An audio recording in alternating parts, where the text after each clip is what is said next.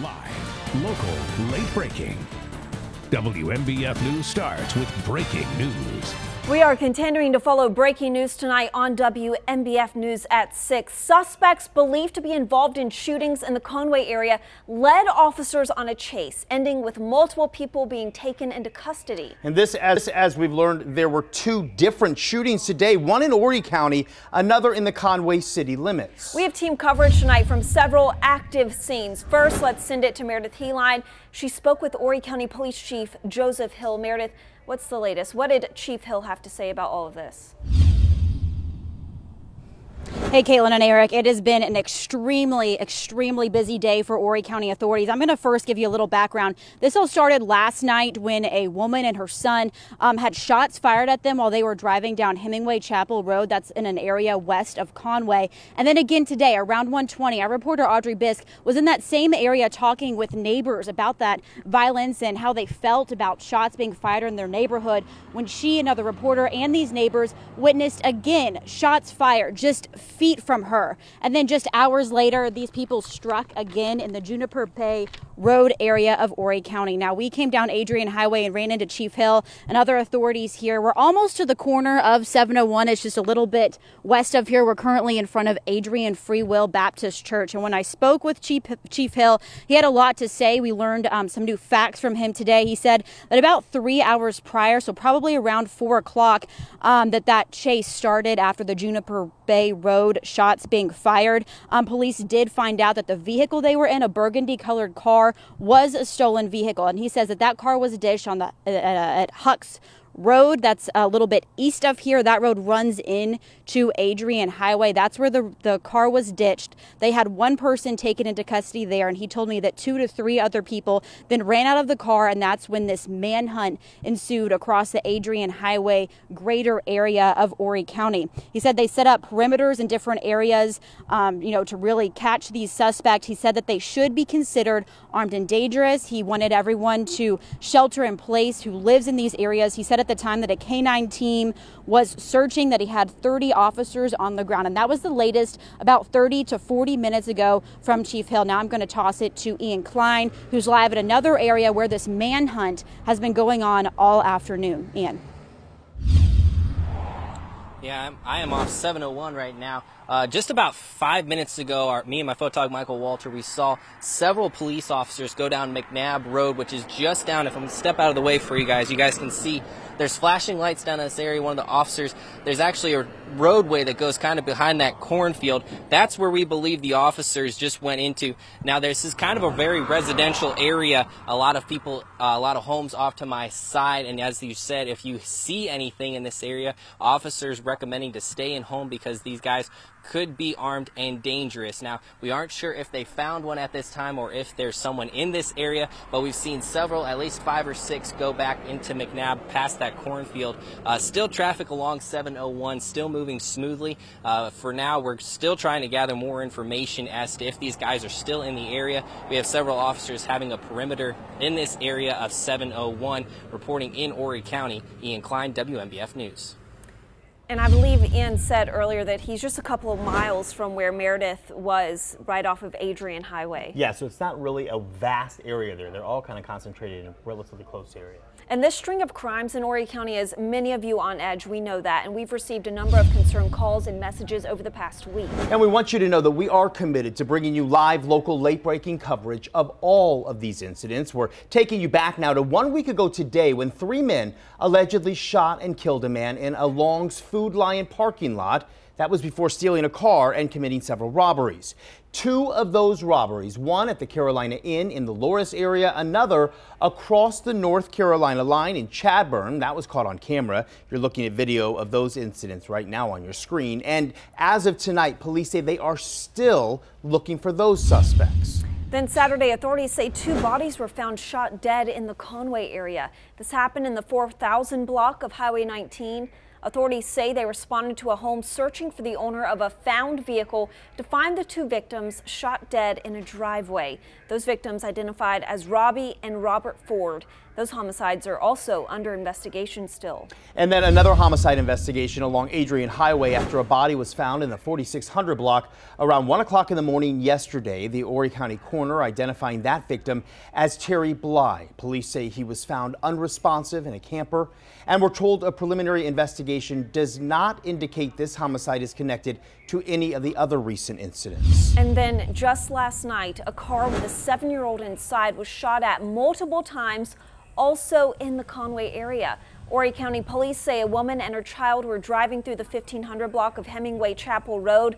When they approached Raspberry Lane, a car was parked in a driveway facing oncoming traffic. When she slowed that car down, because of the position of the SUV, she reportedly saw multiple armed people. Police say another car then approached her, possibly a gray Dodge Charger, shouted at her and began firing, hitting her car about four times. The victim left that scene and called 911. When investigating, police say they found a home they believe was where that woman was shot at. Authorities say shell casings were found in the roadway and the yard. We're told this home and a car in that yard had also been hit multiple times by gunfire. Witnesses reported as many as 10 masked people in the yard of that home. Police say one witness indicated they observed a person with a white mask armed with what appeared to be a long gun.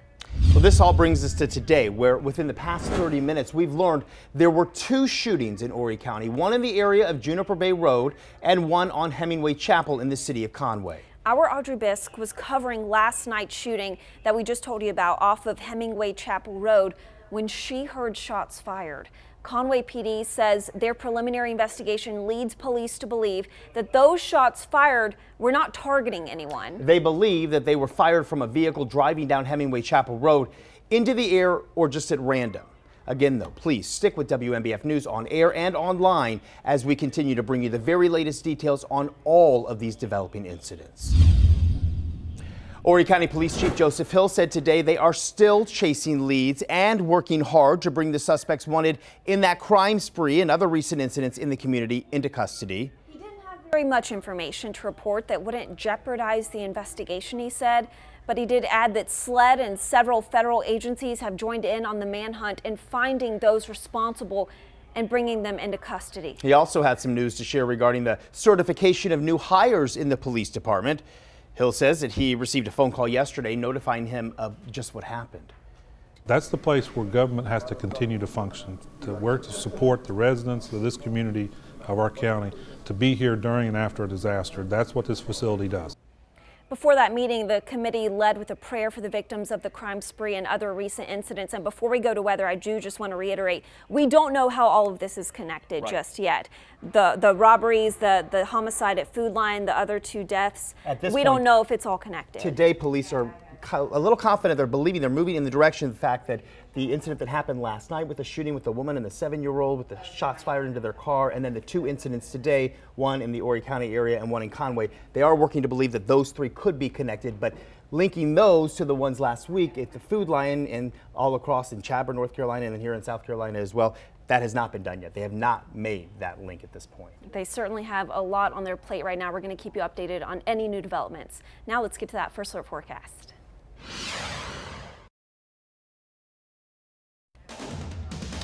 We are continuing to follow breaking news. We've been doing it all day long. This is regarding at least Two shootings today, one yesterday evening, started with a woman and a child in a car, four shots in that situation that happened last night. And then today we had two more shooting incidents, one in the Horry County area and one in Conway. We have reporters who are spread out all over this area, keeping you covered with up-to-date live local late breaking information. And then those shootings spurred a police chase when officers noticed a vehicle that they did say was stolen.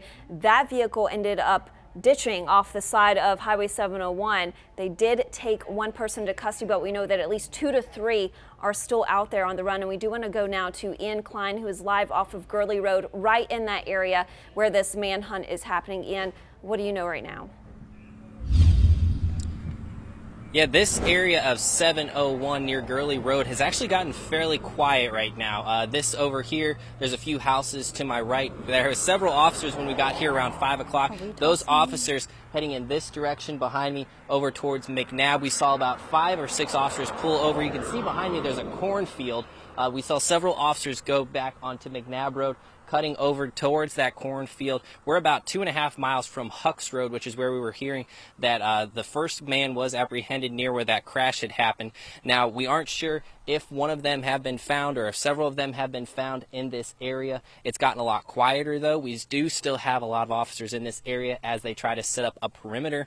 Um, this is a fairly residential area. If you're familiar with this area of 701, there's houses on both sides. Uh, if you are living in this area, police recommending to stay inside because these suspects could be armed and dangerous. But if you see anything or have any information, to call the Horry County Police um, as quickly as you can uh, and letting them know their location.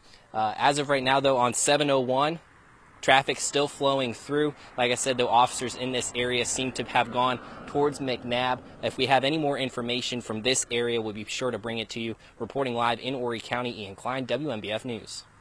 Okay, you know, we want to reiterate that authorities are saying because we have uh, possibly two to three people still on the loose and they could be armed and dangerous, they are asking you to stay indoors to stay safe.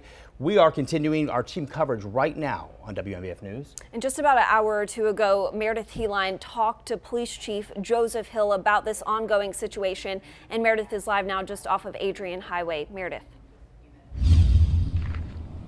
Hey, Kaylin and Eric. I spoke with Horry County Police Chief Joseph Hill about 45 minutes to an hour ago on Adrian Highway. We're almost, uh, if you just go west a little bit more, that's where Highway 701 is, just to give you a little bit of an idea where we are right now. And when I came up to Joe Hill, um, he had new things to say. He brought up new information that we were able to confirm about uh, this manhunt going on today. And he said that that burgundy car that we've talked to you about, that um, our reporter Audrey Biesk witnessed in that shooting at Hemingway Chapel Road today, is a stolen vehicle, and that is what one of the suspects was caught inside. He told me that two to three other people ran out of that vehicle and into the woods, and that's when this chase began. He had a canine team searching for those suspects. He says, now this was about an hour ago, about 30 officers that were also looking for them. Again, that uh, that car was left on Hucks Road and they've been chasing them for a while. He said that these people should be considered armed and dangerous, the suspects that is, and that people that live in this area should be staying inside until this situation is figured out, until it is declared safe. Now, when we came here about 45 minutes to an hour ago, there were about seven or eight Horry County Sheriff's Office cards. Um, cars, uh, police cars here, and then they have all left. We haven't seen any for about 30 minutes. Um, so we'll continue to keep you updated. And here's a little bit more from my conversation with Chief Hill. What I would tell them is to stay in your homes, shelter in place until we give the all clear. We'll work with the media to make sure that information gets out. For right now, just kind of let us do our job. Do not come outside your house. Stay at home. If you see something, please say something. All right, and we are waiting for Chief Joe Hill to give us that all clear to let us know that everything is safe and sound. For now, reporting live in Horry County, right off Adrian Highway, I'm Meredith Heline. Back to you.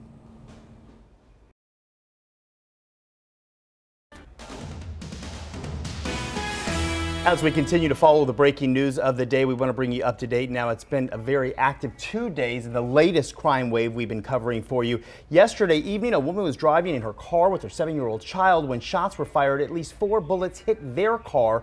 Then fast forward to today, two more incidents, one in the Horry County area, another in the Conway area. Shots fired in these situations as well. Our Audrey Biesk was covering yesterday's incident today. That's when she actually heard those 10 gunshots fired. She is okay but this is just the beginning now. And just a couple of hours ago, around about 4 o'clock, police say they saw a car that matched the description uh, that was involved in those shootings off of uh, Hemingway Chapel Road. Meredith Heline right now is right outside the location where that vehicle ended up ditching, and a couple of those suspects in the vehicle got away. Meredith, what is the latest out there? Caitlin, that happened a little bit east of where we are now on Adrian Highway. Now, in the past five minutes, we've heard a bunch of dogs barking um, a little bit east of here near a Christmas tree farm that's about a mile east on Adrian Highway from where we're at right now. And the only reason we're a little bit concerned about that, we're going to check that out here soon, is because when I spoke with Horry County Police Chief Joe Hill about 45 minutes to an hour ago, he said he has canine teams on the ground all over this place searching for these suspects that are still on the loose. Now, we'll be live at 7 with the latest update. For now, I'm Meredith Heline in Horry County. Back to you. And a reminder that authorities are asking to stay indoors if you are in that area. We will continue to follow this. 30 minutes from now, we'll have another live report for you. About two to three people, they say right now, are still on the loose. They are considered armed and dangerous. So if you see them, call 911. Don't try to interact with these people. Again, though, a very active situation today and yesterday. They are saying at least two to three suspects is what they're looking for right now because they did ditch their car and at least two or three of those suspects got away. So they ran into the woods. They are on the loose, and that is why authorities are asking you to stay indoors. But we will see you back here in just about 33 minutes from right now. We will have another half hour for you. We've had reporters out there all day long. We will continue to bring you team coverage here on WMBF News. We'll see you back here at 7. Stay with us.